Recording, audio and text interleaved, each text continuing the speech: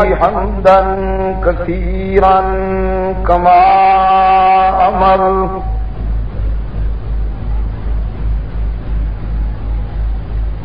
ونشهد أن لا إله إلا الله وحده لا شريك له في الخلق والأمر.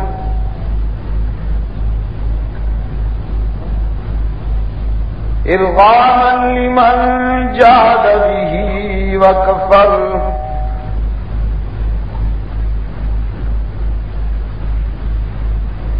ونشهد أن سيدنا ومولانا محمدا عبده ورسوله.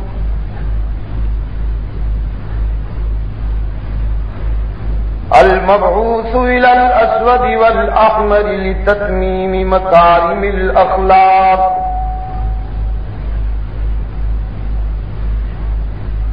لا يخلق نبي ولا رسول بعده ولا أمة بعد أمته ولا شريعة بعد شريعته ولا كتاب بعد كتابي صلى الله تعالى عليه وعلى آله وأصحابه الذين هم خلاصة العرب. الذين هم خلاصة العرب الأرباء وخير الخلائق بعد الأنبياء.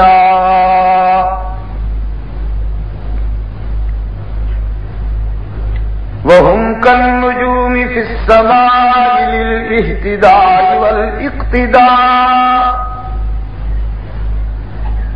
وهم مفاتيح الرحمة ومصابيح الغرل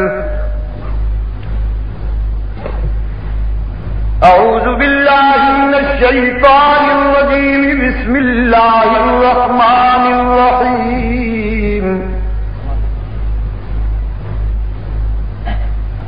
وإذ أخذ الله ميثاق النبيين لما آتيتكم من كتاب وحكمة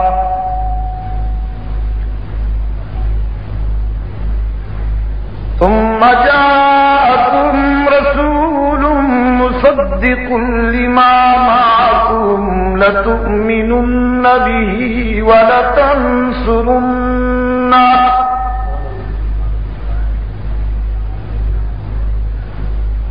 قال أأقررتم وأخذتم على ذلكم إسري. قالوا أقررنا. قال فاشهدوا وأنا معكم من الشاهدين.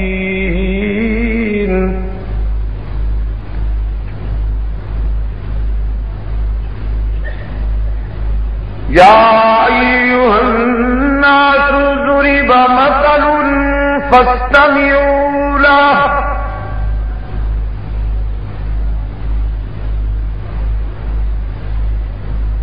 إن الذين تدعون من دون الله لن يخلقوا ذبابا ولو اجتمعوا له.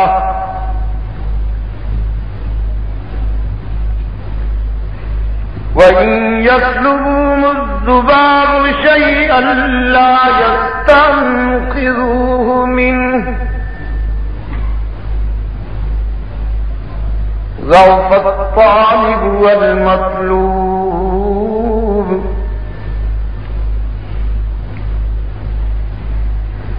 ما قدر الله حق قدره إن الله لقوي. عزيز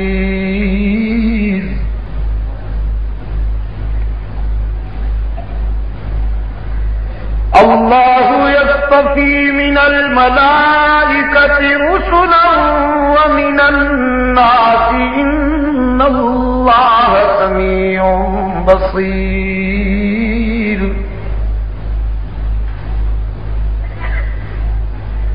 يعلم ما بين أيديهم وما خلفهم وإلى الله ترجع الأمور.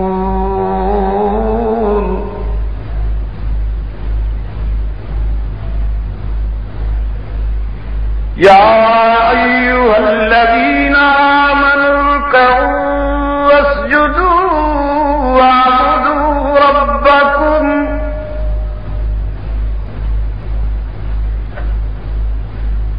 اسجدوا واعبدوا ربكم وفعلوا الخير لعلكم تفلحون.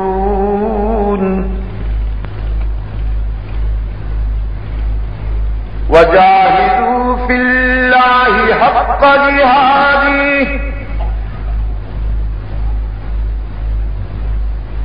واجتباكم وما جعل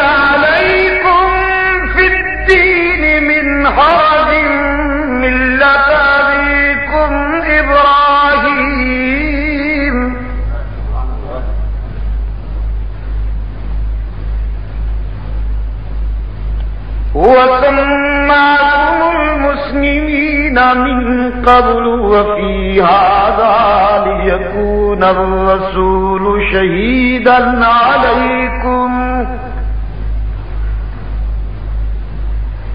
وتكونوا شهداء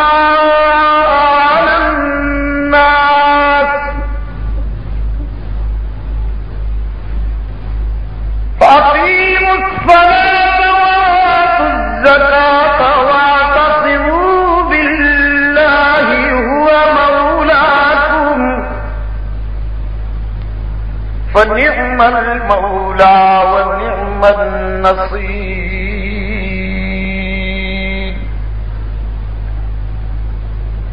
صدق الله مولانا العظيم وصدق رسوله النبي الأمي الكريم. ونحن على ذلك من الشاهدين والشاكرين. والحمد لله رب العالمين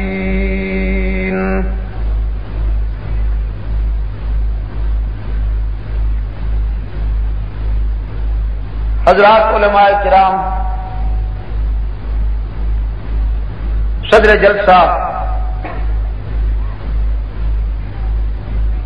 بزرگان محترم رفقائے جماعت اور عزیز دوستو،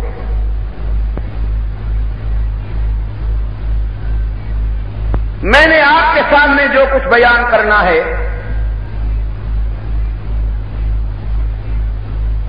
میرے اس بیان کا پہلا حصہ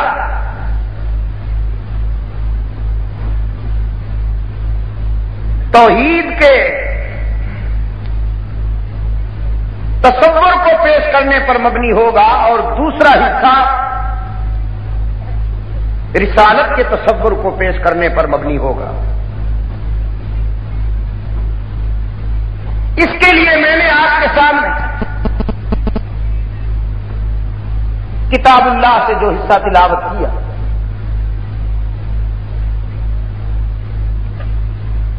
یہاں حق تعالی نے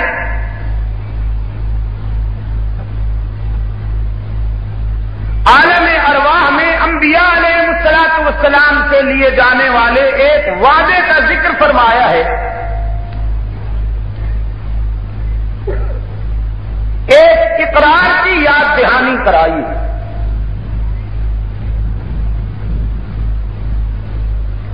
قرآنی اطلاع کے مطابق۔ اس عالم آب و گل کی تخلیق سے پہلے اس دنیا رنگ و بو کو پیدا کرنے سے پہلے حق تعالی نے عالم ارواح میں اولاد آدم سے دو وعدے لیے۔ اور یہ دو وعدے لینے کے لیے حق تعالی نے دو مرتبہ انسانی ارواح کا اجتماع کیا۔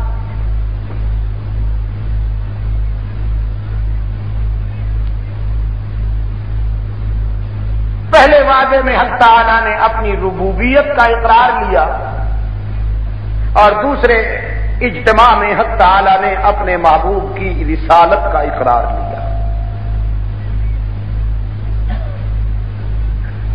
اگر ہم جدید اصطلاح میں اسے معنون کریں تو یوں کہہ سکتے ہیں کہ پہلی توحید کانفرنس تھی اور دوسری رسالت کانفرنس تھی اب توحید کانفرنس کی روداد قرآن کریم نے اس انداز میں پیش کی۔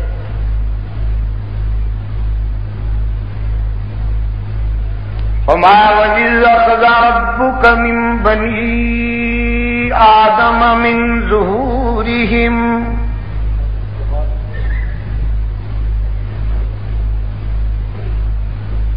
وَإِذْ أَخَذَ رَبُّكَ مِنْ بَنِي آدَمَ اور جب وعدہ لیا تیرے پروردگار نے اولاد آدم سے،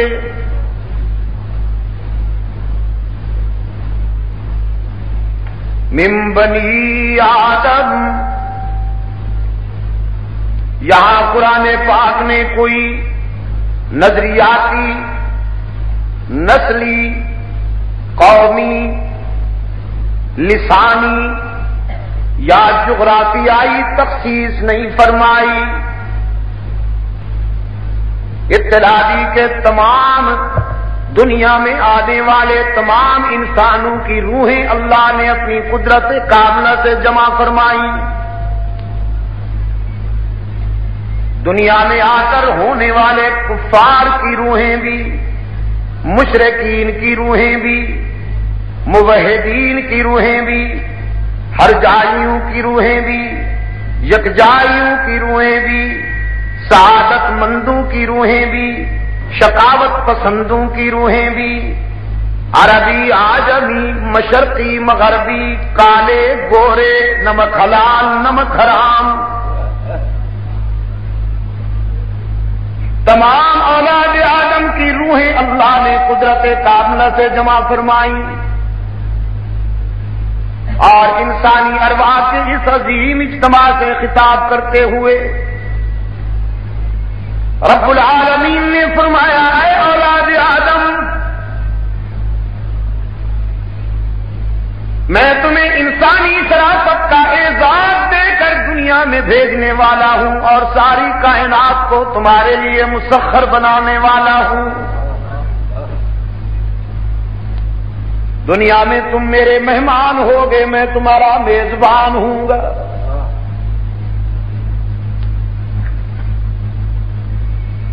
تمہیں انسان کامل بنا کر ساری کائنات میں شرافت کا اعزاز عطا کروں گا۔ زمین بھی تمہارے لیے مسخر ہوگی، آسمان بھی تمہارے لیے مسخر ہوگا۔ فرمایا نم جال الارض مہادا والجبال اوتادا ہم نے زمین کو تمہارے لیے مسخر کر دیا۔ وہ زمین کے جس میں فولاد جیسی ثقیل چیز بھی دفن کی جائے، تو زمین کی نمی اور برودت اسے کچھ دنوں کے بعد خاک میں بدل دیتی ہے۔ لیکن اسی زمین میں جب ابن آدم اپنا دانا امانتن دفن کرتا ہے تو وہ اسے خاک میں بدلنے کے بجائے گلزار بنا دیتی ہے اور ایک دانے کو کئی دانوں میں بدل کے انسان کی امانت واپس کر دیتی ہے۔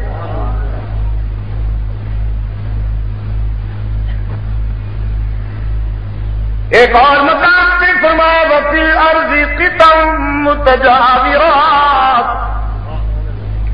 وجنات من اعناب وزرع ونخيل سنوان وغير سنوان يسقى بماء واحد. ونفضل بعضها على بعض في الأكل تم دیکھتے نہیں ہو؟ ہم نے زمین میں بھی کئی طبقات پیدا کر دیے۔ پانی ایک ملتا ہے، زمین ایک ہے، لیکن ایک پانی اور ایک زمین سے اگنے والے درختوں کی رنگتیں بھی مختلف، قد و کامت بھی مختلف، پتے بھی مختلف۔ پھلوں کی جسامت بھی مختلف، ذائقہ بھی مختلف۔ ایک زمین اور ایک پانی سے اگنے والے درختوں کی رنگتیں بدلنے والا۔ پھلوں کا ذائقہ بدلنے والا، پتوں کی نوعیت بدلنے والا، رنگ بدلنے والا۔ کون ہے؟ رب العالمین نے فرمایا، اے ابن آدم، آسمان کو تیرے لیے چھت بنا دوں گا اور آسمان کے دامن میں ایسے چراغ جلا دوں گا، ایسے کمک میں جلا دوں گا جو قیامت تک فیوز نہیں ہوں گے۔ ستاروں کو تابانی دوں گا تمہارے لیے۔ سورج کو درخشانی دوں گا تمہارے لیے۔ چاند کو لمانگیت عطا کروں گا تمہارے لیے۔ گلشن مہکیں گے تمہارے لیے۔ سبزے لہکیں گے تمہارے لیے۔ انادل چہکیں گے تمہارے لیے۔ پہاڑ سنجیدہ کھڑے رہیں گے تمہارے لیے۔ ندیاں بل کھاتی نظر آئیں گی تمہارے لیے۔ دریا متلاسم اور سمندر موج دم ہوں گے تمہارے لیے۔ صبح کو سویرا عطا کروں گا تمہارے لیے۔ راتوں کو اندھیرا عطا کروں گا تمہارے لیے۔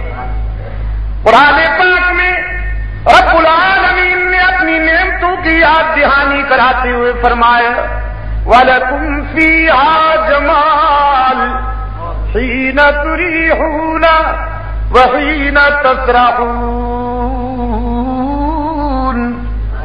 وَتَحْمِلُ أَثْقَالَكُمْ إِلَى بَلَدٍ لَّمْ تَكُونُوا بَالِغِيهِ إِلَّا بِشِقِّ الْأَنفُسِ.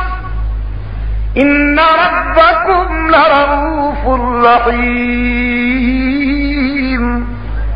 والخيل والبغال والحمير لتركبوها وزينا ويخلق ما لا تعلمون۔ جانوروں میں بھی ہم نے تمہارے لیے عبرت رکھ دی۔ کچھ تمہارا بوجھ اٹھاتے ہیں، کچھ تمہیں دودھ پلاتے ہیں۔ دودھ بھی خالص، پانی ملا ہوا نہیں۔ کچھ تمہیں اپنا گوشت مہیا کرتے ہیں تمہاری غذا کے لیے۔ کچھ ساری زندگی پنجرے میں بند ہو کر قید تنہائی میں گزار دیتے ہیں تمہارے ذوق کی تسکین کے لیے۔ رب العالمین نے فرمایا ربکم لرؤوف الرحیم۔ یہ میرا کرم اور میری مہربانی ہے کہ تم میرے بنو یا نہ بنو، لیکن میری مخلوق تمہاری بغاوت نہیں کرتی۔ وہ بہرحال تمہاری اطاعت پہ پابند ہیں۔ میں نے تو انہیں بے زبان بنا دیا تاکہ تمہارے مظالم اور تمہاری زیادتیوں کے خلاف دنیا کی کسی عدالت میں استغاثائی دائر نہ کر سکیں۔ ایک اور مقام سے ارشاد ہوا۔ وَإِنَّ لَكُمْ فِي الْأَنَامِ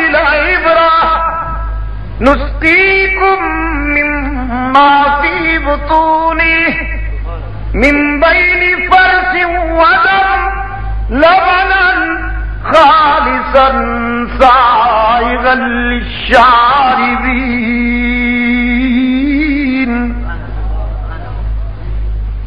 لائبریریوں میں اگر نہیں جا سکتے ہو، کتب خانوں میں نہیں جا سکتے ہو، اگر بخاری اور مسلم سمجھنے کی صلاحیت نہیں، اگر قرآن سمجھنے کی صلاحیت نہیں قرآن دعوت فکر دیتا ہے، تمہارے لیے دودھ کا گلاس بھی مبلغ ہے۔ دودھ کا گلاس پینے سے ایک لمحہ پہلے، ذرا سوچنا انسان، کہاں سے آیا، کس نے بھیجا؟ تو دیکھتا نہیں کہ تیرے جانور کی رنگت منفی، اس کی گوبر کی بو منفی، اس کے خون کا رنگ منفی۔ لیکن وہ کون ہے؟ جو تیرے درد میں آنے والے دودھ میں جانور کی سیاہی کو بھی شامل نہیں ہونے دیتا، گوبر کی بدبو کو بھی شامل نہیں ہونے دیتا، خون کی سرخی کو بھی شامل نہیں ہونے دیتا۔ ان تینوں منفی چیزوں میں سے نسخی مما فی بطونی من بین فرس ودم لبنا خالصا۔ سائغا للشاربین خوش رنگ اور خوش ذائقہ دودھ پلانے والا کون؟ سیاہ جانور، بدبودار گوبر اور سرخ خون میں سے خوش ذائقہ اور خوش رنگ دودھ پلانے والا کون؟ اللہ ہی یا اللہ بھی? تو پھر نمک حلالی کا تقاضا ہے۔ بگڑنے کی بات نہیں، الجھنے کی بات نہیں۔ نمک حلالی کا تقاضا ہے کہ جس کا کرم ہے، تقسیم بھی اسی کے نام پہ ہونا چاہیے نا۔ جس کا کرم ہے دودھ، تقسیم بھی کس کے نام پہ ہونا چاہیے؟ چاہے جب تم تاریخ کو تقسیم ہو یا دو کو یا تین چار پانچ کو، چھ سات آٹھ کو، نو یا دس کو۔ یا بارہویں، تیرہویں، چودہویں کو، پندرہویں، سولہویں، سترہویں کو، اٹھارہویں کو، انیسویں، بیسویں اور آخر تک۔ جب بھی تقسیم ہو، کس کے نام پر؟ اب کائنات نے فرمایا، تمہیں انسان کامل بناؤں گا۔ آنکھیں عطا کروں گا آنکھوں کو قوت بینائی۔ زبان عطا کروں گا زبان کو قوت نت کو گویائی۔ کان عطا کروں گا کانوں کو قوت سماج دماغ عطا کروں گا دماغ کو قوت حافظہ و متفقرہ اور پھر یہ نعمتیں دے کر تمہیں، تمہارے لیے عبرت اور شکر کے مناظر بھی تمہیں دکھا دوں گا۔ تمہیں آنکھوں کی روشنی دیکھ کر تمہاری سوسائٹی میں کچھ اندھے بھی پیدا کر دوں گا، تاکہ انہیں دیکھ کر تمہیں میری اس نعمت کی قدر معلوم ہو سکے۔ تمہیں فصاحت و بلاغت کی نفاستیں دے کر کچھ گنگے اور بے زبان بھی پیدا کر دوں گا، تاکہ انہیں دیکھ کر تمہیں میری اس نعمت پر شکر کی توفیق میسر آ سکے۔ تمہیں جوانی اور شباب کا کر کے کچھ بستر علامت پر ایڑیاں رگڑ رگڑ کے بے قرار ہونے والے بیمار بھی تمہیں دکھا دوں گا تاکہ تمہیں میری اس نعمت کی قدر معلوم ہو سکے۔ تمہیں ہاتھوں پاؤں کی سلامتی دے کر کچھ زمین پر ریگتے ہوئے لولے لنگڑے بھی نظر آ جائیں گے تاکہ تمہیں میری ان نعمتوں کی قدر معلوم ہو سکے۔ تمہیں اولاد عطا کر کے کچھ بے اولاد بھی پیدا کر دوں گا۔ تمہیں صحت مند بنا کے کچھ بیمار بھی دکھا دوں گا۔ تمہیں تونگر بنا کے کچھ گداگر بھی بنا دوں گا۔ تمہیں صاحب عقل بنا کے کچھ فاتر العقل بھی پیدا کر دوں گا۔ تمہیں علم عطا کر کے کچھ بے علم بھی پیدا کر دوں گا۔ رب العالمین نے فرمایا اور رب العالمین کے محبوب نے فرمایا۔ سرکار صلی اللہ علیہ وسلم نے فرمایا اللہ نے جسے آنکھوں کی بینائی عطا کی ہے، اس سے جا کے میرا پیغام پہنچا دو۔ اللہ کی اس نعمت کی ناشکری نہ کیا کر، کہیں وہ اندھا نہ بنا دے۔ جسے اللہ نے صحت عطا کی ہے، اس سے جا کے کہہ دو۔ خدا کی اس نعمت پر تکبر نہ کیا کر، کہیں وہ ہمیشہ کے لیے بیمار بنا کے بستر پہ نہ لٹا دے۔ اللہ نے جسے دولت عطا کی ہے، اس سے جا کے کہہ دو خدا کی اس نعمت پر۔ اپنے موسم کو نہ بھول جایا کر، کہیں وہ تونگر سے در در کا گداگر نہ بنا دے۔ ہم تعالی جسے اولاد کا کی، رحمت عالم صلی اللہ علیہ وسلم نے فرمایا، اپنی اولاد کی جوانی پر تکبر نہ کیا کر۔ اپنے موسم کو نہ بھول جایا کر، کہیں وہ سب کے جوانی میں جنازے نہ اٹھا دے۔ اللہ نے جسے عروج عطا کیا ہو رفاتیں عطا کی ہوں عزت عطا کی ہو، مقبولیت عطا کی ہو، اقتدار عطا کیا ہو۔ کملی والے نے فرمایا، اس سے جا کے کہہ دو، رات کے سناٹے میں سر بسجود ہو کر کبھی کبھی اپنے موسم کا شکر ادا کر لیا کر۔ کہیں وہ رسوا کر کے ساری دنیا کے لیے عبرت نہ بنا دے۔ کہیں وہ یہ اپنی نعمت ودرا نہ کر لے۔ اس لیے کہ اسے مکمل اختیار ہے۔ اسے اللہ مالک الملک تؤتي الملك من تشاء، وتنزع الملك ممن تشاء، وتعز من تشاء، وتذل من تشاء بيدك الخير۔ إنك على كل شيء قدير. رب العالمین نے فرمایا، یہ ساری نعمتیں عطا کر کے تمہیں دنیا میں بھیجوں گا اور دنیا میں بھیج کے بھی تمہیں بھول نہیں جاؤں گا، تنہا نہیں چھوڑ دوں گا لاوارث نہیں کروں گا۔ قدم قدم پہ میری رحمت تمہاری نگران ہوگی، قدم قدم پہ میری شفقت تمہاری پاسبان ہوگی۔ تم مجھے بھول جاؤ گے، لیکن میں تمہیں ایک لمحے کے لیے بھی فراموش نہیں کروں گا۔ دنیا کا کوئی تعلق، دنیا کا کوئی رشتہ تمہارے اتنا قریب نہیں ہوگا جتنا میرا لطف و کرم تمہارے قریب ہوگا۔ جہاں سارے رشتوں کی انتہا ہوگی، وہاں میرے قرب کی ابتدا ہوگی۔ باپ کو بیٹا چھوڑ جائے گا۔ بیٹے کو باپ چھوڑ جائے گا، بھائی بے وفائی کر جائیں گے، دوست توتا چشمی کا مظاہرہ کر لیں گے، شاگرد نمک حرامی کر جائیں گے، سارے چھوڑ جائیں گے، مگر وہ نہیں چھوڑے گا۔ وہ تیری نافرمانیوں کے باوجود بھی تجھے تنہا نہیں چھوڑتا۔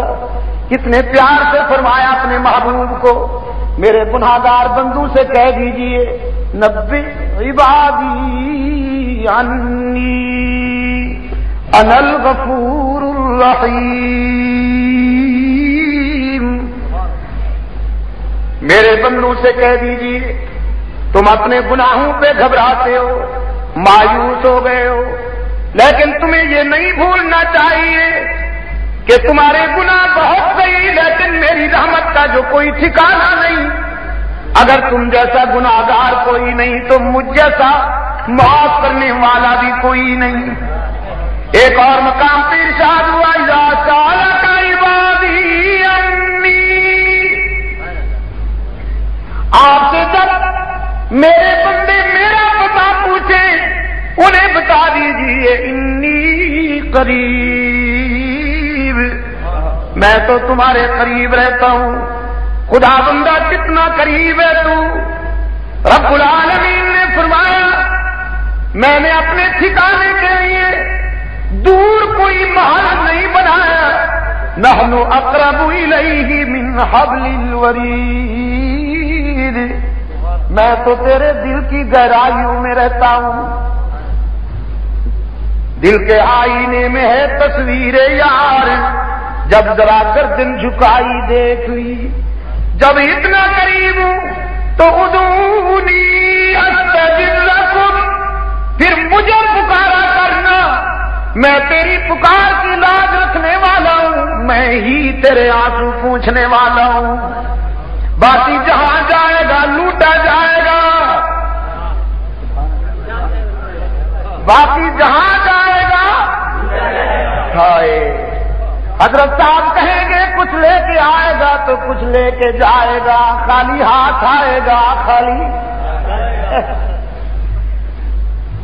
باقی جہاں جائے گا، لوٹا جائے گا، بس ایک ہی در ہے، خالی ہاتھ آئے گا، دامن بھر کے جائے گا۔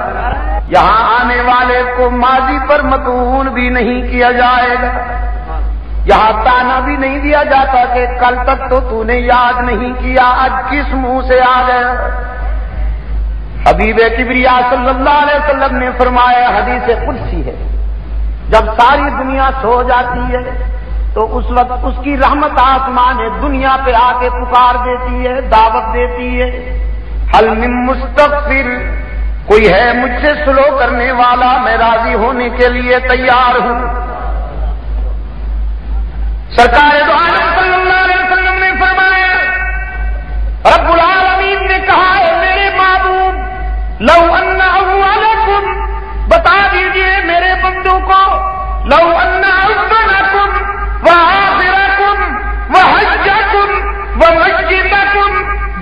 جدنکم انسکم ذکرکم انساکم رتبکم یابسکم کامو فی سات واحدہ۔ تمہارے اگلے پچھلے انسان، جن، مرد، عورت، مشرقی، مغربی، جو زندہ ہے وہ، جو مر چکے ہیں وہ، سب کے سب اٹھ کر میرے سامنے دامن پھیلا لیں فیس الو کلو مسالتا ہر ماننے والا اپنی مراد طلب کرے، اپنا مقصد پیش کرے۔ رب العالمین نے فرمایا تو کل سائل مسالتا اور میں ہر ماننے والے کا دامن بھر دوں، سب سب کی مراد پوری کر دوں۔ تو میرے محبوب، میرے خزانے میں اتنی کمی بھی واقع نہیں ہوگی۔ جتنا چلتے ہوئے سمندر میں کوئی سوئی ڈبوئے، سوئی کے سرے پر پانی نظر آ سکتا ہے۔ میں ساری کائنات کا دامن بھر دوں تو میرے خزانے میں اتنی کمی بھی واقع نہیں ہوگی۔ ماں اندکم ین فضو و ماں جو کچھ تم نے جمع کیا ہے وہ فنا ہونے والا ہے اور رب کے خزانے میں کبھی کمی واقع ہوتی ہی نہیں۔ سرکار صلی اللہ علیہ وسلم نے فرمایا، رات بھر اللہ کی طرف سے پیشکش ہوتی ہے۔ گناگاروں کو خطا کاروں کو۔ اور خطا کاروں گناگار سوچتے ہیں، کس منہ سے اللہ کے در پہ جائیں؟ دامن میں تو ایک خوبی نہیں۔ ہم اتنے بڑے بے وفا ہیں، اتنے بڑے نمک حرام ہے کہ رب کے در پہ جاتے ہوئے بھی حیا آتی ہے لیکن اس کی رحمت پکارتی ہے۔ تمہیں کس نے کہا خوبیاں لے کے آؤ؟ تمہیں کس نے کہا نیکیاں لے کے آؤ؟ میری بھی تو یہی پیشکش ہے، اپنا دامن گناہوں سے بھر کے لاؤ، زندگی بھر کی خطائیں جمع کر کے لاؤ۔ اتنی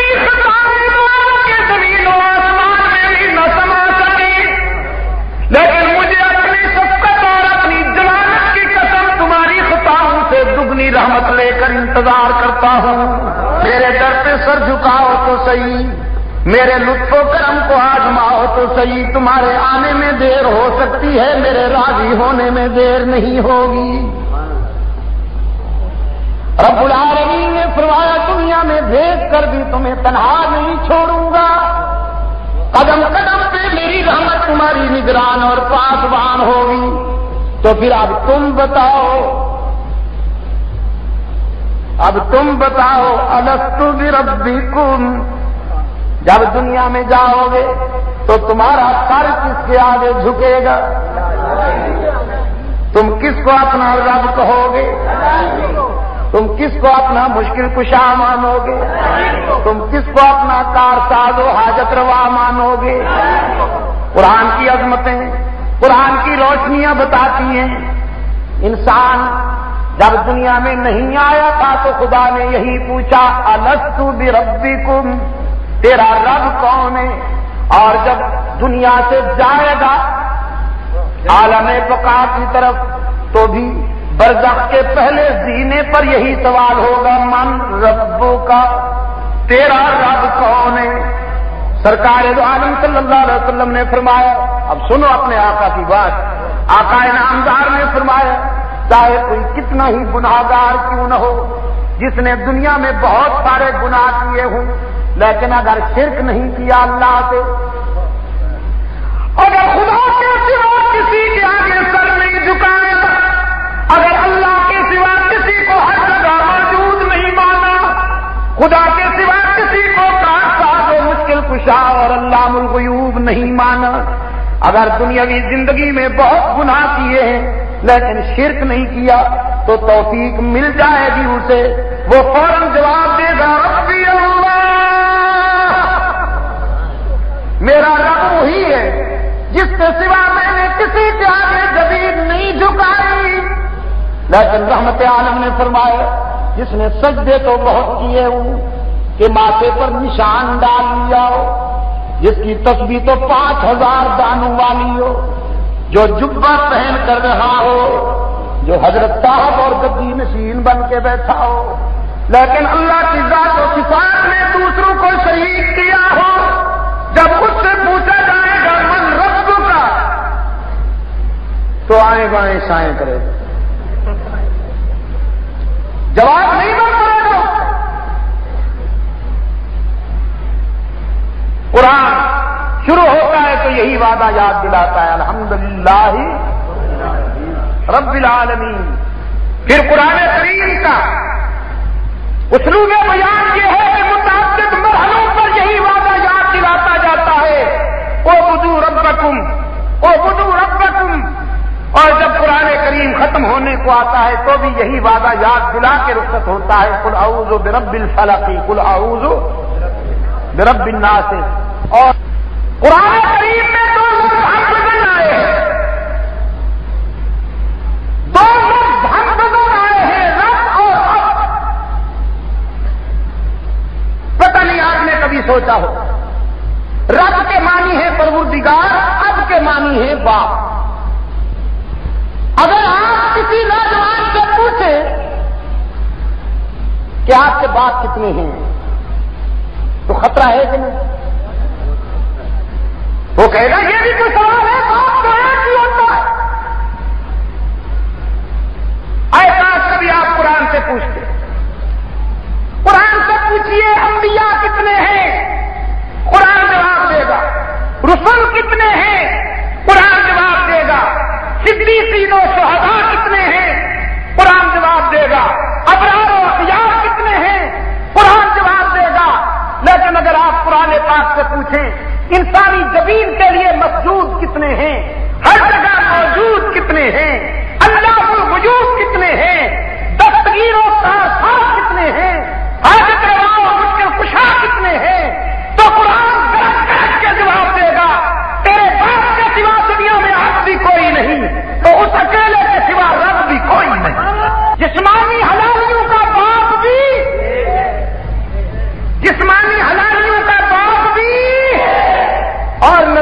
نظریاتی حلالیوں کے زمین کا مسجود بھی اور جن کا سر کئی دروازوں سے جھکتا ہے، پتہ نہیں ان کے۔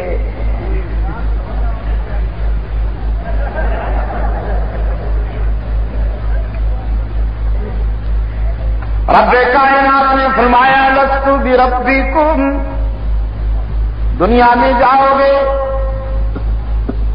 تو تمہارا رب کون ہوگا؟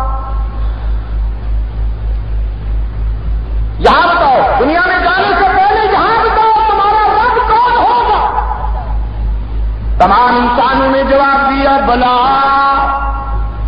اے موسم آدم ہم وعدہ کرتے ہیں کہ تیرے سوا دنیا میں جا کے کسی کو رب نہیں مانیں گے۔ تو ہی ہمارا رب ہے۔ کالو بلا۔ اسی لیے تو میں کراچی والوں سے پوچھتا ہوں، اور وہ دل کی گہرائیوں سے جوش ایمانی کے ساتھ جواب دیتے ہیں۔ آج میرے سامنے اور حشر میں خدا کے سامنے بھی ہم یہی کہیں گے، ہماری زمین کے لیے حقیقی مسجود کون ہے؟ سجدہ کس کا حق ہے؟ خدا کے بعد اگر کسی کے لیے سر جھکانے کی گنجائش ہوتی، تو پھر اللہ کے بعد یہ حق تھا رحمت عالم صلی اللہ علیہ وسلم کا، کیونکہ حضور پوری کائنات میں رب کے بعد سب سے بلند و بالا ہیں۔ رب کے بعد؟ بعد خدا بزرگ تو ہی۔ لیکن صحابہ رضوان اللہ تعالی مجمعین نے سرکار دو عالم صلی اللہ علیہ وسلم کی خدمت میں عرض کیا، عرب کے وڈیروں کے سامنے ان کی رعایت تعظیم انہوں نے جھک کے ملتی ہے۔ تو محبوب خدا آپ بھی ہمیں اجازت دیجیے نا۔ ہم بھی آپ کو تازی من جھک کے ملا کریں۔ انتا حق کو اس جگہ کملی والے نے فرمایا، لو کن تو آمر آہدن ان يسجد لأحد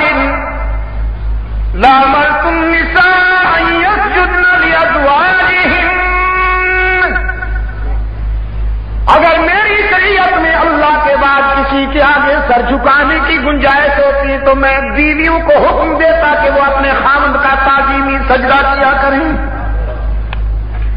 اور چودہویں صدی کے بعد کو اجازت ہوتی کہ وہ اپنی بیگم کا صبح شام سجدہ کیا کریں۔ لیکن رحمت عالم صلی اللہ علیہ وسلم نے فرمایا، بیوی خامن کا سجدہ نہیں کر سکتا شاگرد استاد کا سجدہ نہیں کر سکتا بیٹا باپ کا سجدہ، نہیں کر سکتا رعایا حاکم کا سجدہ، نہیں کر سکتی مرید شیخ کا سجدہ، نہیں کر سکتا کوئی اور کیسے مسجود بنے۔ یہاں تو صدیق کے اکبر جیسا سچا مرید، رحمت للعالمین جیسے سچے پیر و مرشد کا سجدہ بھی نہیں کر سکتا۔ اس لیے کہ ہو جس میں عبادت کا دھوکا مخلوق کی وہ تعظیم نہ کرے۔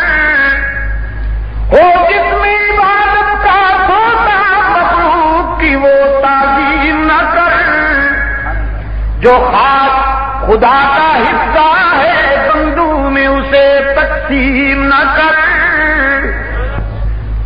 جب ہم یہ کہتے ہیں کہ سجدہ اللہ ہی کا حق ہے بزرگان دین کی عظمت حق ہے، ان کی کرامت حق ہے، ان کی ولایت حق ہے۔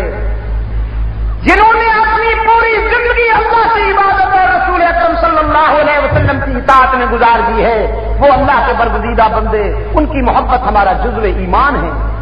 لیکن ہم سر اللہ کے سوا کسی کے سامنے نہیں جھکاتے، سجدہ اسی کا حق۔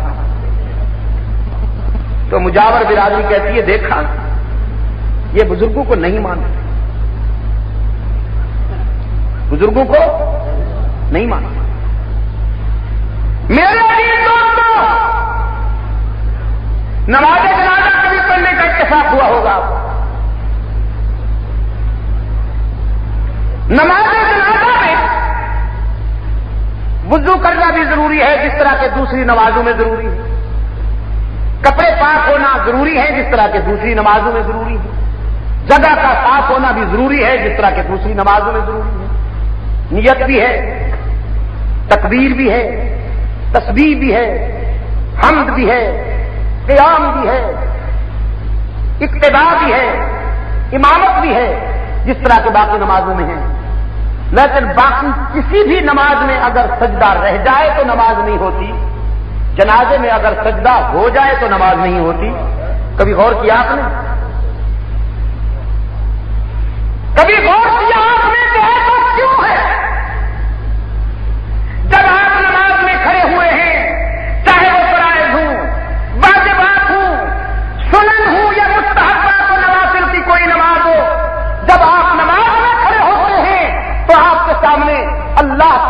کے تصور کے سوا کوئی نہیں ہوتا۔ حکم ہے کہ نمازی کے سامنے نہ گزرا کرو تاکہ اس کے لنک میں فرق نہ آ جائے۔ اس کے رابطے میں فرق نہ آ جائے۔ لیکن جب نماز جنازہ کے لیے آپ کھڑے ہوتے ہیں، تو سامنے، شاگرد کے سامنے استاد کی میت۔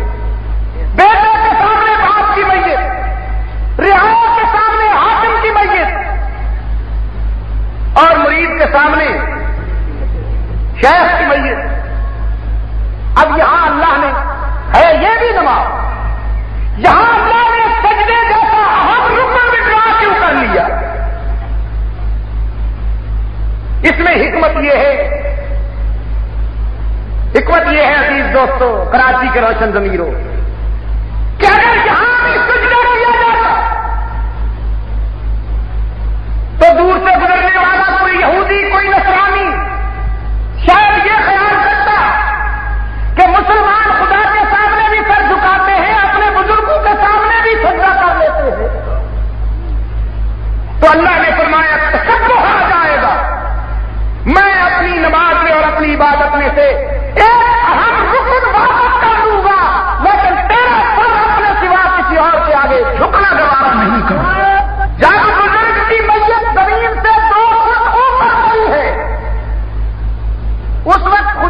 سامنے سر جھکانے کی اجازت نہیں دیتا تو جب وہی میت زمین میں تین فٹ نیچے چلی جاتی ہے، پھر تعظیم کے عنوان سے سجدے کی گنجائش کہاں سے نکل آتی ہے؟ مائی ڈیئر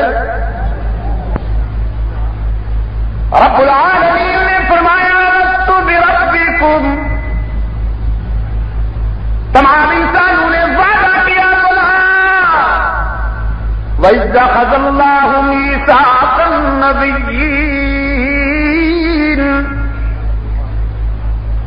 اب رسالت کام کرو۔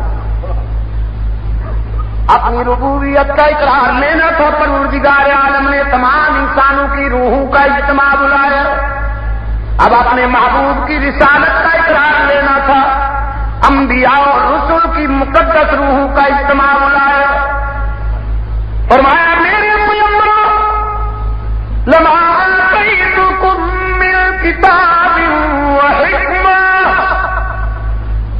میں تمہیں کتاب اور حکمت عطا کر کے دنیا میں بھیجوں گا۔ تمہارے سر پہ نبوت کا تاج رکھ کر کتاب اور حکمت کی سعادتیں عطا کر کے دنیا میں بھیجوں گا۔ تم جاؤ گے، اپنے اپنے زمانہ میں نبوت اور رسالت کا فریضہ ادا کرو گے۔ تم مجا تم رسول، پھر تم سب کے بعد میرا رسول آئے گا۔ صلی اللہ علیہ وسلم الف الف مرہ بحادت کل ضرور آئے گا تو تم سب کے بعد۔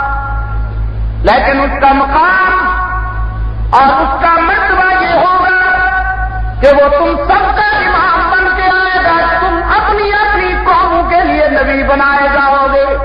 تم سب کے بعد آنے والا میرا محبوب، تم نبیوں کا بھی نبی بن کے آئے گا۔ تمہاری نبوت پر اس زمانہ کے لوگوں کو ایمان لانا ضروری اور تم سب کے بعد آنے والے میرے محبوب کی رسالت پر تم نبیوں کو بھی ایمان لانا ضروری۔ تم سب کے بعد آنے والے میرے محبوب کا یہ بتا ہوگا کہ وہ جس دھرتی پر چلے گا، میں اس دھرتی کی قسمیں ہر سے بری پہ کھاؤں گا۔ وہ جس شہر کا باشندہ ہوگا، میں اس شہر کے در و دیوار کے تذکرے قرآن کریم میں کروں گا۔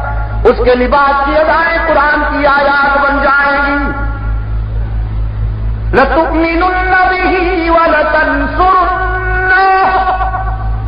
اب وعدہ کرو کہ تم اس کی نبوت پر ایمان دلاؤ گے تعامل بھی کرو گے۔ آکر تم واقف تم مالا سالی تم اسری۔ اب بتاؤ، یہ وعدہ کرتے ہو کہ نہیں؟ کالو اکرنا تمام انبیاء نے اعلان کیا، خدا بندہ ہم وعدہ کرتے ہیں۔ تیرے محبوب کی رسالت پر ایمان کا بھی تعاون کا بھی۔ فرمایا پچھاڑو اس وعدے پر تم بھی دعا بن جاؤ وانا معکم من الشاہدین۔ میں بھی اس وعدے میں تمہارے ساتھ گواہ بن گیا ہوں۔ یہ وعدہ بھی یہ وعدہ بھی مکمل ہو گیا۔ اب ایک سوال کرتا ہوں، جلدی جلدی جواب دے دیجیے۔ حضور اکرم صلی اللہ علیہ وسلم کا مقام اور مرتبہ سارے انبیاء کے برابر یا سب سے بلند؟ نبوت کی کرسی پر سب سے پہلے بیٹھے یا سب کے بعد بیٹھے؟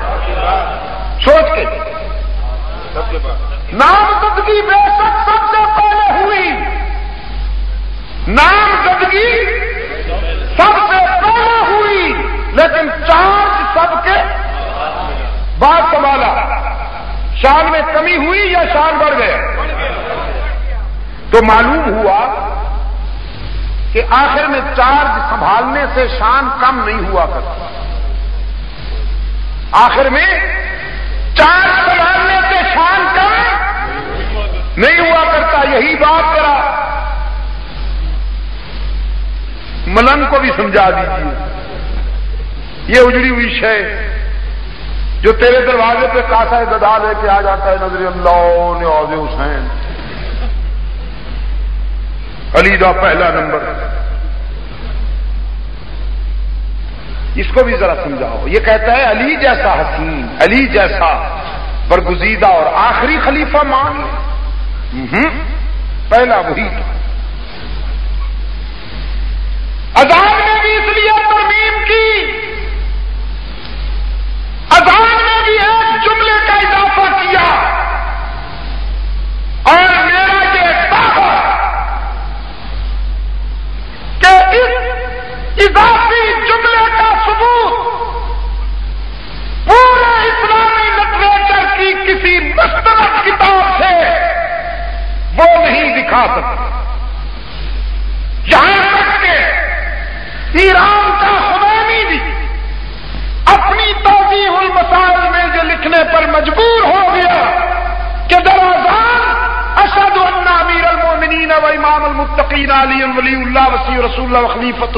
خلیفت بلا گفتن جزو اذان نیس بلے خوب کہ یہ جملہ جو ہے جزو اذان تو نہیں ہے، لیکن ہے بہت خوب۔ میں نے کہا، یہ بلے خوب یہ کیا ہے؟ یہ موم کی ناک تو نہیں ہے اسلامی شاعر جس طرف آپ چاہیں، خوب سے خوب تر کی تلاش میں موڑ دیں۔ کسی نے اپنے مرضی کے مطابق درود و سلام گھڑ لیا، کسی نے اذان گھڑ لی کہ جی خوب ہے۔ میں آپ کو پوچھتا ہوں، جو مسجد نبوی میں حضرت بلال نے دی اور رحمت عالم صلی اللہ علیہ وسلم اور آپ کے صحابہ نے سنی، پھر دور خلافت راستہ میں دی جاتی رہی۔ اور پھر صدیوں تک وہ اذان مسجد نبوی کے میناروں سے بلند ہو رہی ہے اذان وہ صحیح ہے یا یہاں کے اجمی فنکاروں کی بنائی ہوئی محرف اذان صحیح ہے؟ انہوں نے اذان کے اندر کچھ ملایا اور ان کے بھائیوں نے اذان سے پہلے کچھ ملایا۔ بھائی بھائی ہے نا؟ ہاں، بھائی بھائی۔ واہ، بھائی بھائیوں بھائی بھائی تو ہیں نا جی؟ وہ ادھر پڑھتے ہیں، یہ ادھر پڑھتے ہیں۔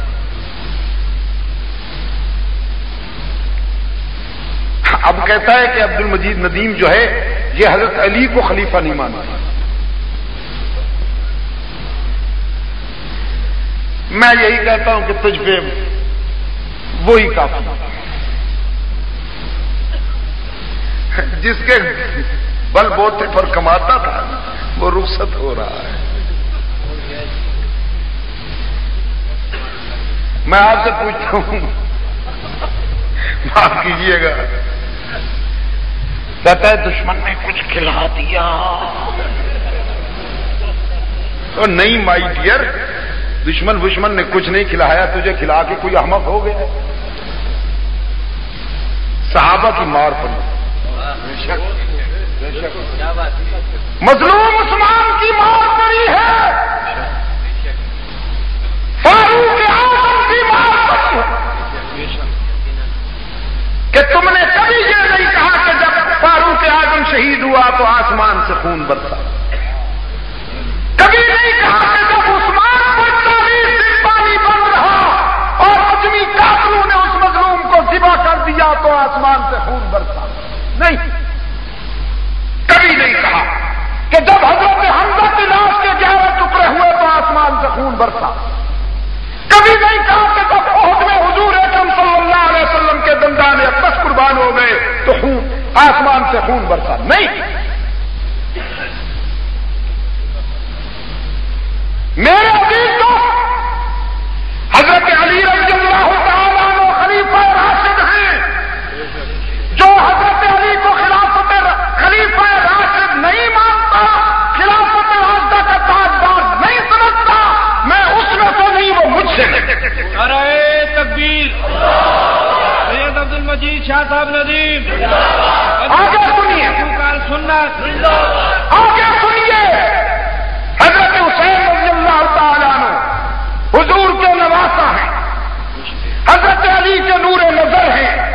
سیدہ فاطمہ حضور کی چھوٹی بیٹی حضرت زینب رقیہ ام کلثوم کی چھوٹی بہن سیدہ فاطمہ زہرا کے رخت جگر ہیں شہید ہیں مظلوم ہیں۔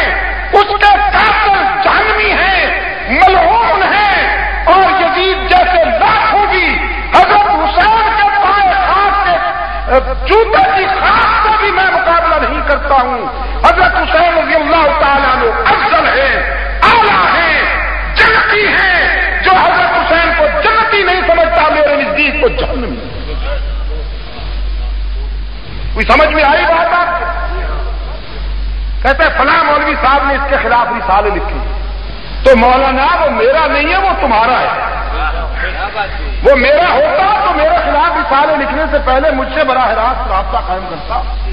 اس کے بعد میں بھی علماء دیوبند کے خلاف فتوے لکھے۔ اس نے حضرت شیخ القرآن کے خلاف اس قسم کے رسالے لکھے۔ مفتی صاحب کے خلاف اس قسم کے رسالے لکھے۔ تو وہ میرے مکتب تک فکر کا نمائندہ نہیں جو جھوٹ بولے وہ جو بندی نہیں ہو سکتا۔ حضرت علی رضی اللہ تعالیٰ نو خلیفہ راشد ہے تک کہو، حضرت علی رضی اللہ تعالیٰ نو لیکن چوتھے۔ لیکن چوتھے۔ پہلا نمبر کس کا ہے؟ صدیق کا۔ صدیق کا۔ فاروق کا۔ عثمان کا۔ علی کا۔ چوتھا نمبر۔ شان کم نہیں ہوئی۔ شان کم نہیں ہوئی۔ فضیلت میں انبیاء کے بعد پوری بصریت میں صدیق کے اکبر سینئر۔ حضرت علی چوتھے نمبر پہ آتے ہیں، لیکن شان کم خلافت راستہ کی گاڑی کتنی عجیب ہے۔ پہلے نبی ہے، آخر میں علی ہے۔ بو بکر، عمر، عثمان تو درمیان میں ہے اگر گاڑی کو کوئی نقصان ہو جائے تو یا ڈرائیور سے پوچھا جاتا ہے یا گارڈ سے پوچھا جاتا ہے، مسافروں سے کوئی نہیں پوچھتا۔ خلافت راستہ کی گاڑی کے ڈرائیور محمد عربی ہے گارڈ حضرت علی المرتضا ہے سفائی مناسب دیتا ہے، صدیق اکبر جبرن خلافت پہ آ گئے، فاروق اعظم جبرن خلافت پہ آ گئے، عثمان جبرن خلافت پہ آ گئے۔ حضرت علی اکیلے تھے۔ اس لیے انہوں نے مجبوراً چپ کر کے گزارا کیا، ڈر ڈر کے وقت گزارا۔ سنی کا عقیدہ یہ ہے کہ علی خدا کے سوا کسی سے ڈرنا جانتا ہی نہیں۔ جو یہ کہتے ہیں کہ بدستے عمر بود یکریسما دیگر در کفے خالد پہلوا فگندم در گردن شیر نر، ببردم نورا در ابو بکر مومنو روڑ دلال کہ ایک رسی عمر نے اٹھا لی، دوسری رسی خالد نے اٹھا لی اور آ کے ڈال دی، شیر خدا کے گلے میں ڈال دی اور پھر گھسیٹتے ہوئے لے گئے اور جبرن بیت کرا لی۔ واہ شیر ادھر کہتے ہیں رسولوں کی ہوئی حاجت روائی، علی نے نو کی کی نا خدائی نہ کرتا اگر علی مشکل کشائی، نہ پاتا چاہتے یوسف رہائی۔ دوا یوب کے زخموں کی کیوا حویدا اب ہیوا سے کیا چاہ۔ رہا ہے شیش پیغمبر، عطا کی خضر کو الیاس کو راہ۔ رہا ہے شیش پیغمبر کا داور، علی کا موجہ ہر ایک نادر۔ علی کی ذات ہے ہر شے پہ قادر۔ ادھر یہ اور ادھر کہ جی بس اکیلے تھے، بس نہیں چلتا تھا، مجبوراً وقت گزار صدیق کا عمر کا، عثمان کا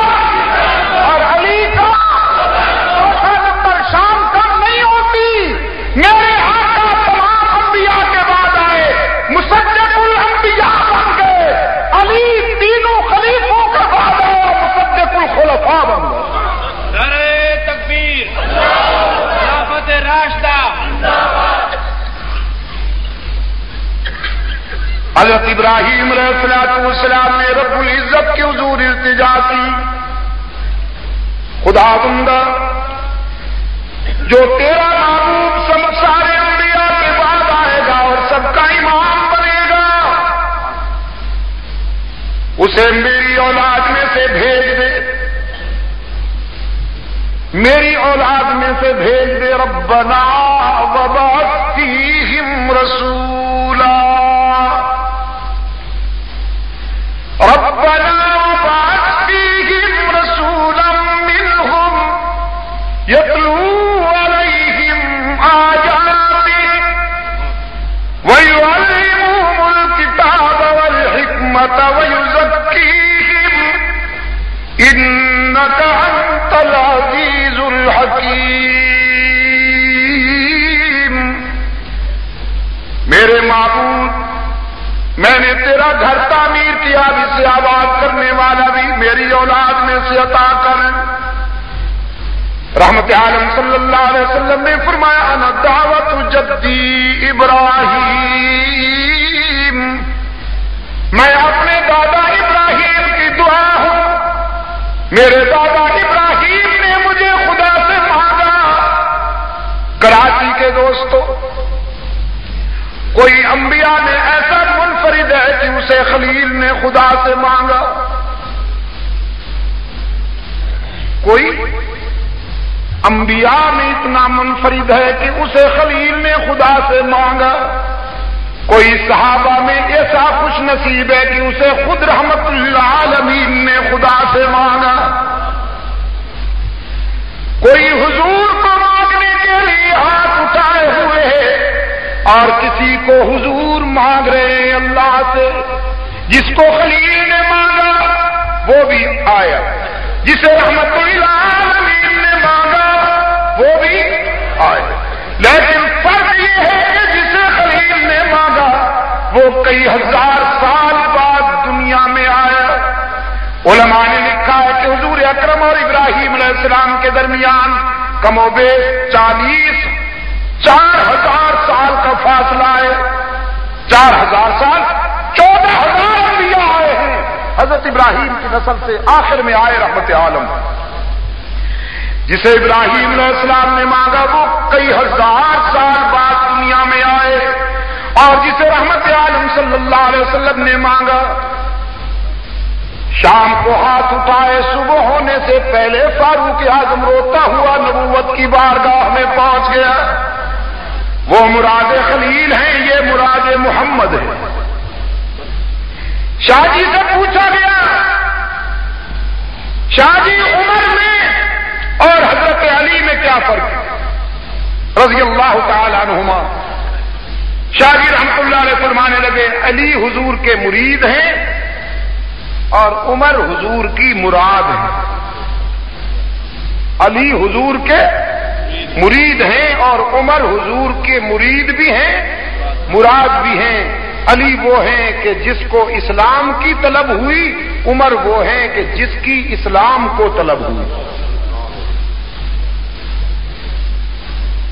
سرکار دو عالم صلی اللہ علیہ وسلم مراد خلیل بن کر آئے بیت اللہ میں مولم حبیب صلی اللہ علیہ وسلم نے بیت اللہ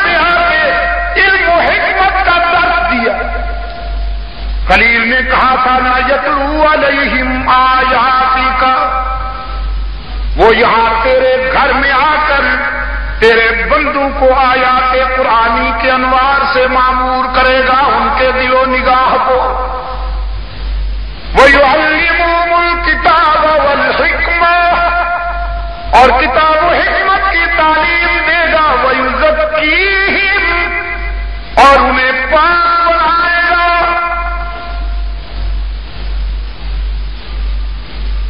حضور نے جو درس کھولا، کتاب و حکمت کی تعلیم دی اور پاک بنایا، رسول کے درس کے سارے شاگرد پاک ہوئے یا دو تین ہوئے؟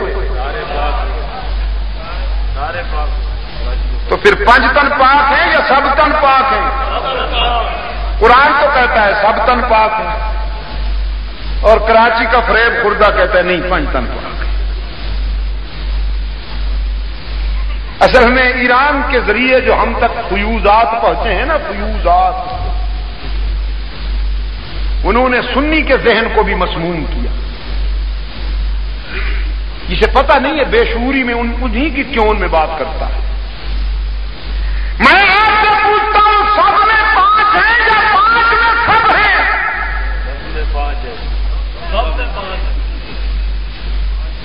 بے شک رسول اللہ پاک۔ بے شک حضرت علی پاک۔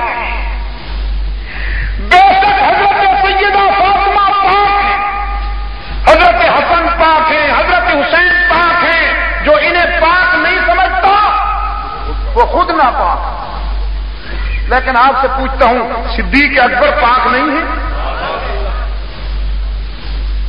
وہ پاک نہ ہوتا تو پاک کے پہلو میں کیوں سویا ہوا ہوتا؟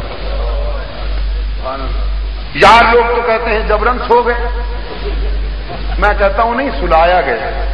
سویا نہیں۔ ویسے یار لوگ یہی کہتے ہیں جبرن سو گئے۔ مسلح پہ بھی جبرن چڑھ گئے۔ خلافت بھی جبرن لے لی۔ فدت بھی جبرن لے لیا۔ امامت بھی جبرن لے لی۔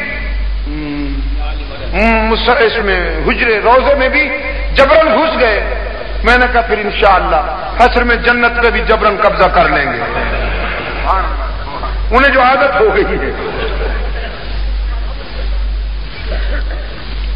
کیوں مہاجر کم کے دوستوں دہلی کالونی والوں کراچی کے روشن ضمیروں موت کے بعد کوئی جبر کرتا؟ جب حضرت صدیق اکبر رضی اللہ تعالیٰ فوت ہوئے، تو حضرت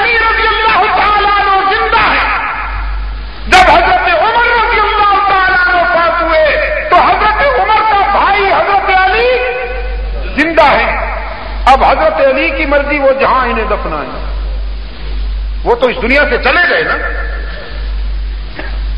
تاریخ کے سچے اور آپ یہ بتاتے ہیں کہ حضرت علی نے اپنی رضامندی سے اپنے ان دونوں بھائیوں کو اپنے قائد کے پہلو میں سلا دیا۔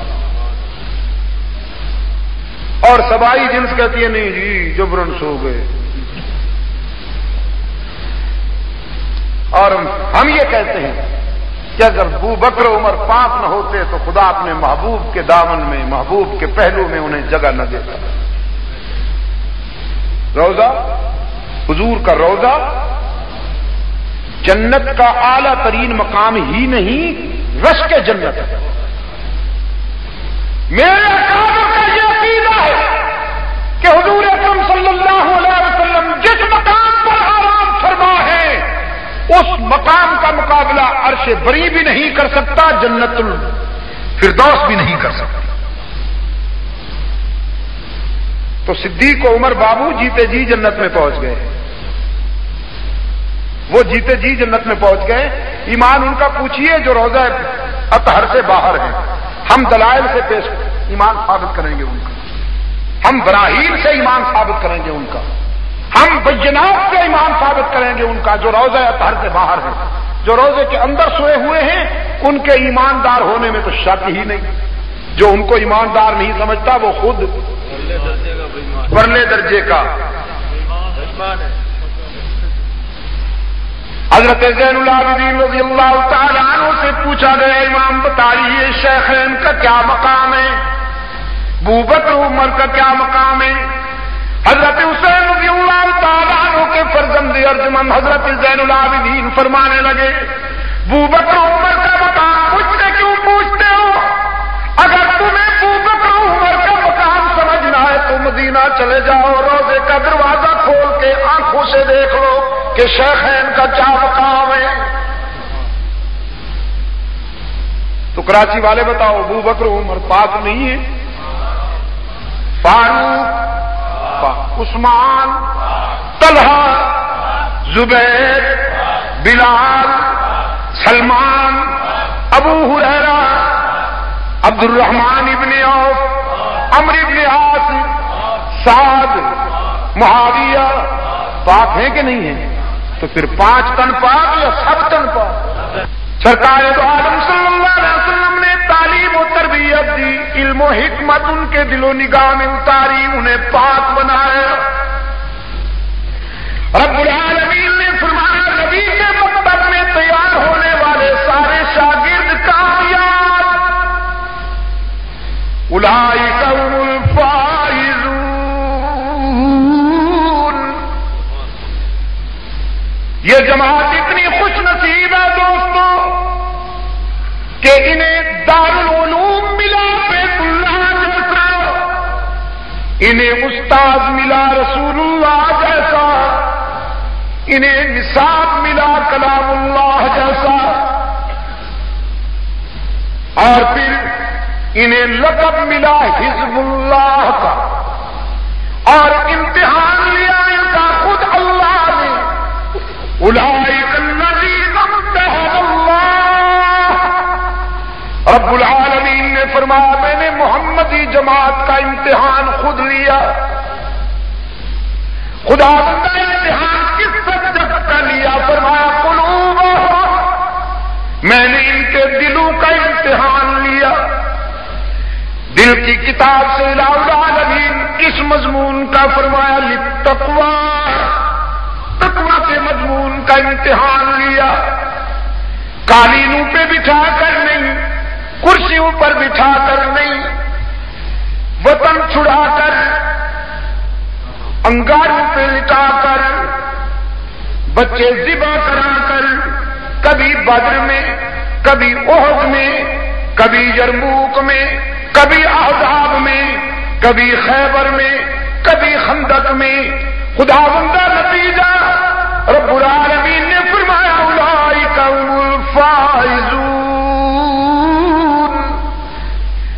رحمت عالم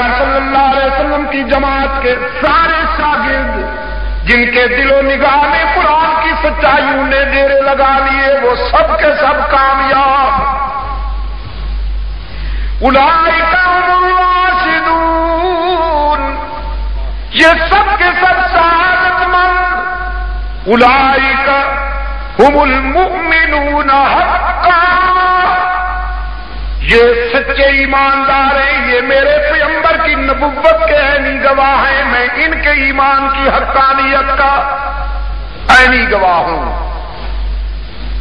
مجلس تحفظ حقوق عال سنت و جماعت پاکستان، یوم فاروق اعظم آرگنائزنگ کمیٹی پاکستان۔ اسی مقدس جماعت کی وکیل صفائی کی حیثیت سے اپنا فرض ادا کر رہے ہیں۔ ہم حشر میں صحابہ کے غلام اور رضاکار بن کر اٹھنا چاہتے ہیں۔ ہم سب کو ناراض کر سکتے ہیں، لیکن بو بکر عمر کو ناراض نہیں کر سکتے۔ ہمارا پروگرام اس کا سوا کچھ نہیں کہ ہم حضرات صحابہ کرام کے کردار کو اور ان کی سیرت کو توڑنے کے دان سے بھی زیادہ بیدار ثابت کریں۔ مجلس تحفظ حقوق عال سنت جماعت، خالص دینی اور مذہبی جماعت۔ ہمارا کوئی کرسی کے حصول سے وابستہ آزاد نہیں ہے۔ اس ملک میں کوئی بھی برسر اقتدار رہے، لیکن ہمارا مطالبہ یہ ہے کہ صحابہ کرام اور اہل بیت الزام اور آل رسول کی عزت و ناموس کو تحفظ ملنا چاہیے۔ وہ کتابیں سخت ہونی چاہیے، ان کتابوں کو آگ میں پھینکنا چاہیے، وہ قلم توڑ دینے چاہیے، وہ زبانیں پابند ہونی چاہیے، جن میں حضرات صحابہ کرام اور اہل بیت و آل رسول کے خلاف مواد موجود ٹھیک ہے کہ نہیں؟ ابھی گجرا والا کے قریب رسول نگر میں ایک واقعہ ہوا۔ میں نے خود جا کے اس واقعے کی تحقیق۔ وہاں پر ہے کہ تمام ایک بدبخت خاتون نے ایک عورت نے حضرت صدیقہ رضی اللہ تعالی عنہ، حضرت عائشہ کے خلاف بد زبانی کی۔ اور جب مجلس ختم ہوئی تو حضرت عائشہ کا پتلا بنایا گیا، اس کے گلے میں جوتے کا ہار ڈال کر پھر اسے جلا دیا۔ دوسری رات مردانہ مجلس وہی عورت سامنے کے مکان کی چھت پہ بیٹھی تھی اور عورتیں بھی بہت سی بیٹھی تھیں۔ ایک مرحلے پر چھت جو گری تو وہ بد زبان شتیر کے نیچے آئی ریزا ریزا ہو گئی اور غلازت کا ڈھیر بن گیا۔ اس غلازت کے ڈھیر کو شتیر سے اٹھا کر جب اس کا جنازہ قبرستان کی طرف لے جانے لگے، تو رسول نگر کے دوستوں نے بتایا کہ راستے میں دو چار پائیاں ٹوٹی اور اس کی لاش زمین کیا اور پھر اس حالت میں اسے قبر میں پھینک دیا۔ یہ صدیقہ کائنات، ام المومنین مریم اسلام عفیفہ کائنات حضرت عائشہ رضی اللہ تعالی عنہ کی۔ اس وقت بھی زندہ کرامت ہے کہ جو زبان اسے بھونکے گی، اس کا یہ حشر ہوگا۔ میں نے اس دن اسلام آباد میں بھی کہا، اتحاد کا سب سے بڑا بھائی میں اتحاد کے خوبصورت ٹائٹل میں اگر کوئی ایکسپلائٹ کرنا چاہتا ہے تو ہم اس کو کامیاب نہیں ہونے دیں گے۔ آئیے مثبت اور برادرانہ اتحاد کریں۔ تم حضرات صحابہ کی تعریف کرو۔ تم حضرت صدیق و عمر کی تعریف کرو۔ میں حضرت علی، حضرت حسن و حسین کی مرکبت کرتا ہوں۔ تم حضرت صدیق کائنات کی عزت بیان کرو۔ میں حضرت سیدہ فاطمہ رضی اللہ تعالی عنہ کی عظمت بیان کرتا ہوں۔ اتحاد کا نقطہ یوں ہونا چاہیے۔ لیکن یہ تو کوئی انصاف نہیں کہ اہل بیت اور آل رسول کی محبت میرا جزو ایمان ہو اور تم صحابہ پر تبرہ کرنا جزو ایمان سمجھو اور پھر یہ یہ کہو کہ یہ ہم سے متحد ہو جائیں، ہمارے بھائی بن جائیں تو وہ بیٹا جو اپنے باپ کے دشمنوں سے اتحاد کر لے، حلالی نہیں ہوتا۔ جو بیٹا اپنے باپ کے دشمنوں سے وہ حلالی نہیں ہوتا۔ مجلس تحفظ حقوق علیہ سنت و جماعت، پاکستان میں اہل سنت و جماعت کے قومی اور ملی حقوق کا پرتم اٹھائے ہوئے آگے بڑھ رہی ہے۔ اور پاکستان بھر کا نوجوان اس وقت اللہ کے فضل و کرم کے ساتھ بیدار بھی ہے اور جاگ بھی رہا ہے۔ مجھے میرے پاس وہ الفاظ نہیں، زبان نہیں کہ میں خدا کا شکر ادا کر سکوں۔ ایک زمانہ کہ لوگوں کو کسوں کہانیوں پر خوش کیا جاتا تھا؟ اداکاری اور ایکٹنگ پر خوش کیا جاتا تھا۔ الحمدللہ، اس دور کے نوجوان قرآن کی حلاوتوں میں اور قرآن کی صداقتوں میں اور قرآن کی عظمتوں کے قریب آ کر اپنی دنیا اور رقبہ سنوار رہا ہے۔ مجھے ان نوجوانوں پہ فخر ہے میں ان کے لیے دعا کرتا ہوں، اللہ ان کی جوانی کو صحابہ کی عزت و ناموز کے حفاظت کے مقدس مشن کے لیے منتخب کرے۔ اور آخر وقت تک ہم اسی مشن پر چلتے رہے۔ مجلس تحفظ حقوق علیہ سنت جماعت کے کارکنان ڈویژنل سطح پر اور مقامی سطح پر، یوم فاروق اعظم آرگنائزنگ کمیٹی کے بہادر قائد جناب سہیل احمد خان صاحب اور میں ان تمام بزرگوں کا شکر گزار ہوں جو اس پروگرام کی تشکیل، ترتیب اور کامیابی میں جنہوں نے حصہ لیا، آپ سب حضرات کا بھی بے حد شکر گزار ہوں جو یہاں اس پروگرام میں شرکت کے لیے تشریف لائے۔ کل انشاءاللہ توحید و رسالت کانفرنس کا آخری اجلاس نازم آباد نمبر چار میں ہوگا۔ اس میں آج میں اس لیے آپ کو جلدی چھٹی دے رہا ہوں، دیکھیے، پونے ایک بجے چھٹی دے رہا ہوں۔ آپ آرام فرمائیں اور کل کے اجلاس کے لیے شرکت کی تیاری کریں، زندگی کا پتہ نہیں۔ میری کتاب کے کچھ نسخے باقی ہیں، اسلام اور انسانیت۔ یہ یورپ میں ہونے والی میری تقریروں کا مجموعہ بھی ہے۔ پڑھے لکھے حضرات یہ لے لیں دعا کے بعد۔ حاجی شیخ نظام الدین صاحب کے ایک عزیز جو سمندر میں ڈوب کر ہلاک ہو گئے ہیں، ان کے لیے بھی دعائیں مفرت کرنی ہے اللہ الاسلام وجعلنا هداة مهتدين.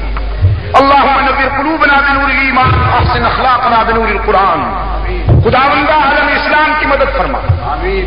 پروردگار عالم مسلمان جہاں کہیں باطل سے ٹکرا رہے ہیں انہیں اپنی تائید و نصرت سے مالا مال فرما. آمین. یہودی اور عیسائی ارادوں سے ملت اسلامیہ کو محفوظ معمون فرما. آمین. اسرائیلی درندوں سے ہمارے فلسطینی بھائیوں کو نجات عطا فرما. آمین. پروردگار عالم ہم میں سے جو بیمار ہیں انہیں شفا کاملہ عطا فرما۔ روحانی جسمانی بیماروں کو شفا کاملہ عطا فرما۔ پاکستان کو امن و سلامتی کا گہوارہ بنا اور اسے قرآن سنت سے مدری آئی نتا فرما۔ آمین۔ خدا بندہ اس ملک میں خلافت راستہ کے دور کے احیاء کے لیے۔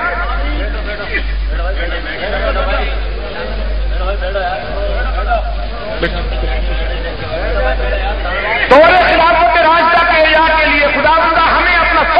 کرنے کی توفیق عطا فرما